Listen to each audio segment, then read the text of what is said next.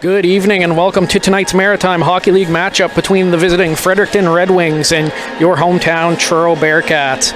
My name is Noah Poirier. I'll have the call for you tonight live on FloHockey. The Bearcats come into this game off a successful 2 0 weekend last week on the forecheck. Melikov now in his fourth year. Melikov able to force a turnover in front, of a couple whacks out at a third chance they score.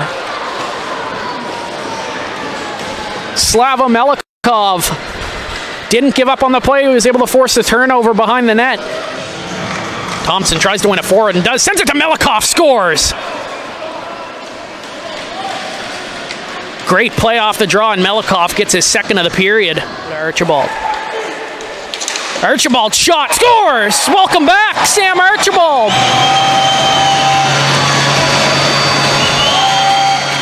Came off the half wall and took the shot. Brigio got a piece of it hugging his post, but not enough. Pierce couldn't get a stick on it. Shot in front, they score again.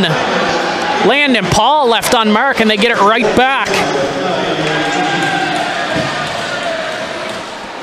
Weave his way on the right side, gives it off. McCluskey's shot, tried to go near post, glove save. And the long pass ahead for Alex Rude has a step. In on goal, Rude shot, tried to go five hole. Big McCluskey with Nadeau. Carter McCluskey waits, stops, shot, scores!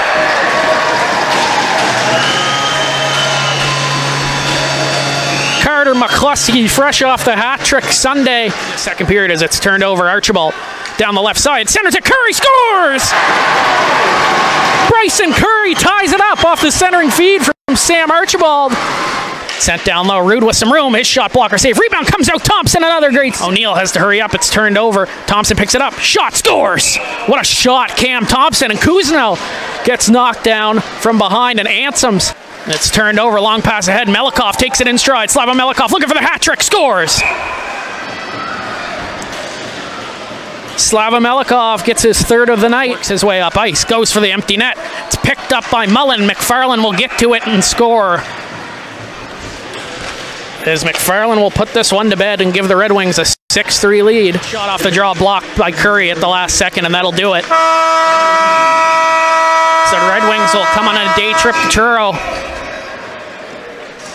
and defeat the Bearcats by a score of 6 to 3.